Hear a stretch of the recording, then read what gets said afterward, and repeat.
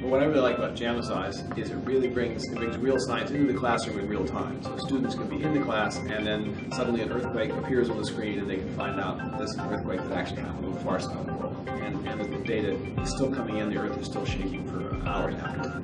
Right. And, and they can use the software to then go in and take that data, uh, put it on a travel time curve, and locate where that event took place. So um, using their own data that's coming to the classroom is really a powerful piece for them. I also think that you can tie it back into their, their place, give them a sense of place and a sense of ownership.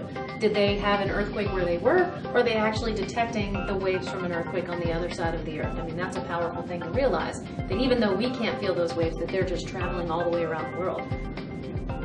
And they can do all of this without having a seismograph at all. The software allows them to connect into the network of professional instruments that might be, you know, just a few miles away from their school. Or if they have a school seismograph, they can plug that right into the system and use that data that comes from the instrument in their classroom. You know the very best thing about jAmaSeis? It's free. it is free and it's pretty simple and easy to use and it runs uh, on all platforms. Mm -hmm.